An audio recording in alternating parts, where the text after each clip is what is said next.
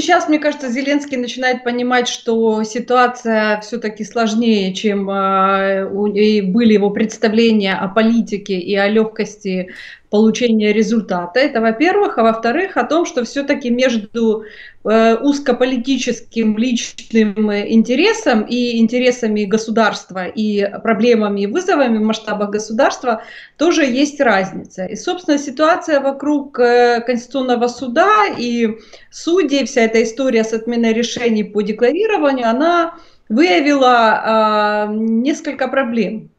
Ну, во-первых, действительно то, что внутри а, самого а, монобольшинства нет а, единства.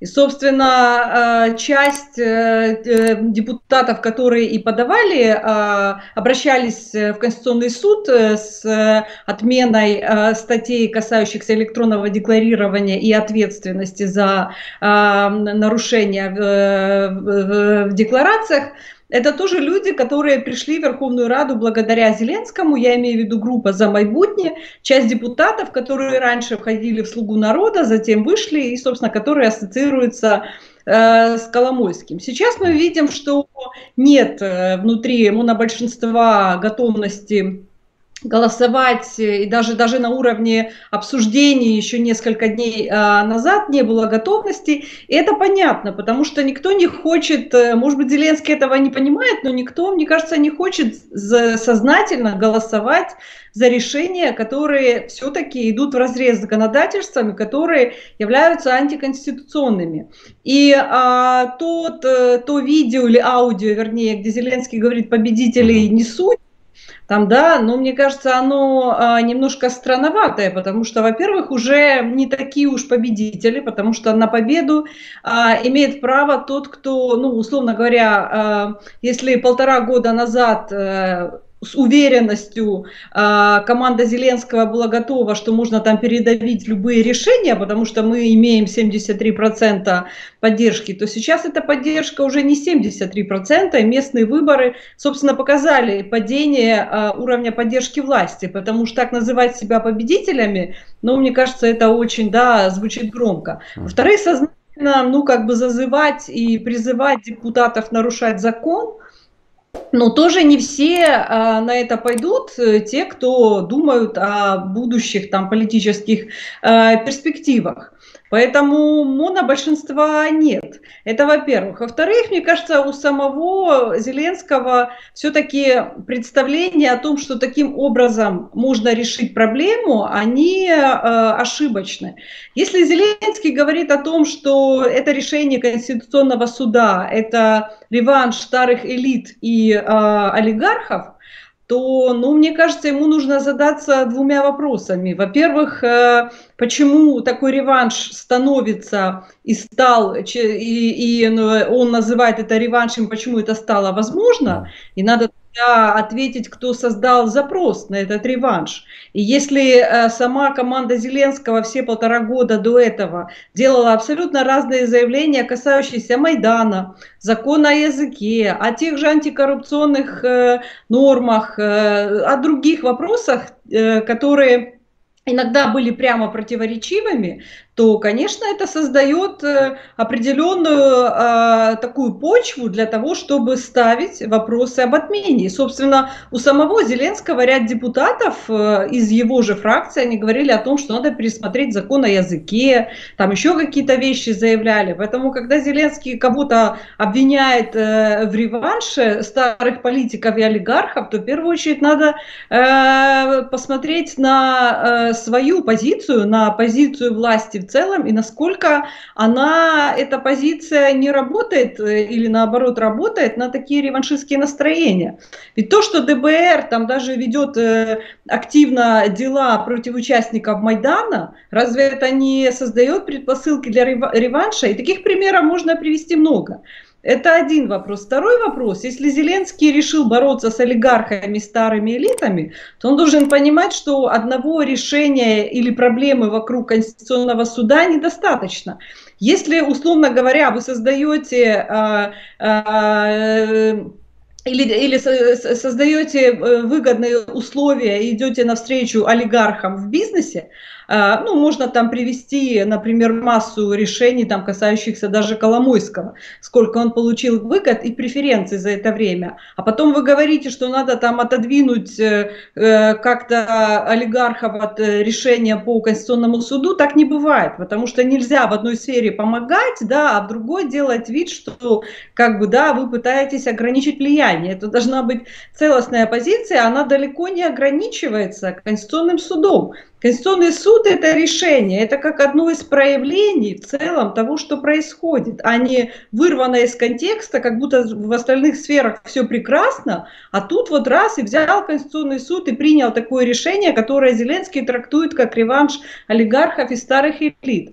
Ну и, наконец, как решаются проблемы? Все-таки, ну вот, э, это, э, во-первых, избирательность, которую мы видели, да, в отношении Конституционного суда, и также можно привести, кстати, и другие структуры. Ну, то есть, когда это выгодно, когда разгоняли э, Верховную Раду и назначали досрочные выборы, и были вопросы к законности этого решения, но это было выгодно действующей власти, то это, это хорошо. Когда есть решение, которое не нравится, то да, давайте будем разгонять, э, ну там и, и так далее. Ведь, собственно, справедливо напоминают э, политики и эксперты о том, что когда Конституционный решу, суд вынес решение по НАБУ, о том, что неконституционным было назначение э, директора НАБУ, э, я имею в виду еще пред, предыдущим президентом, то почему-то это не вызвало никаких вопросов у Зеленского. Хотя было очевидно, что следующим шагом будут пересмотр норм других, касающихся в целом антикоррупционной э, составляющей.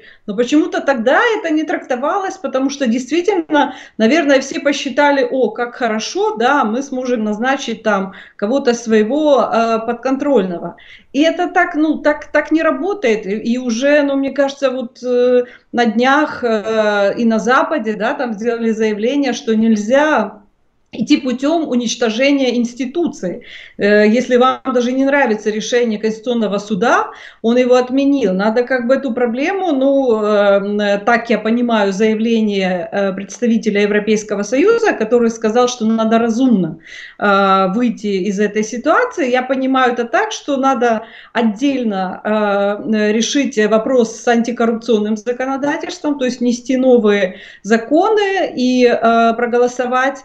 А второе Второе – это суд, который, ну, нельзя, да, там взять и обездвижить суд и сказать, вот не нравится, а давайте мы там его закроем, да. Угу. Ну, то есть как-то идти, э, там прозвучала фраза, что надо реформировать судебную систему, продолжать реформу судебной системы, и мне кажется, это исключает все-таки такие, знаете, радикальные, там, закрыть, перекрыть, обездвижить, все-таки это ну, мне кажется, требует другого э, подхода. И когда я слушала Зеленского э, в одном из эфиров, он сказал, что э, Э, неработающий Конституционный суд – это там залог стабильности на текущем этапе, но это немножко звучит все-таки странно, потому что не может быть неработающая институция. Надо говорить о том, как делать институцию эффективной, э, как избавить от корпоративных, там, групповых интересов, от влияния олигархов, как вот если э, там надо даже дополнять этот суд, там есть два,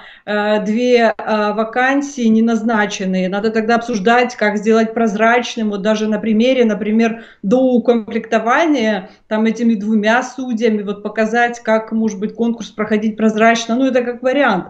Или какие-то другие шаги, там ограничивающие, там обсуждают и кворум, повышение кворума, и какие-то другие инициативы, но просто сказать, что, знаете, неработающий суд – это залог стабильности, мне кажется, это ну, это, это и не решает проблему, и ну, это как-то слишком, ну, мне кажется, по-детски немного. Поэтому здесь, ну, мне кажется, гораздо сложнее э, реальность, чем, возможно, э, представлялось это и даже представляется Зеленскому. И, может быть, э, вот ситуация с Конституционным судом, может быть, хотя бы частично приведет к тому, что э, президент Зеленский, он, э, ну, начнет как-то видеть проблемы в их масштабе, а не просто с точки зрения там, политического интереса. Сегодня выгодно так, завтра так, послезавтра так. Сегодня мы одобряем решения суда, которые э, могут да, быть юридически невыверенными. Завтра мы не одобряем, послезавтра еще как-то. И, ну, вот все-таки, ну, вот, возможно, эта ситуация, да, покажет какой-то масштаб. И, собственно, то, что внутри политикума, даже внутри а, фракции самого Зеленского есть, как мне кажется, определенный консенсус между оппозицией и фракцией власти частично, который заключается в том, что все-таки нельзя да, принимать э, или голосовать за законы, которые идут в нарушение с Конституцией, потому что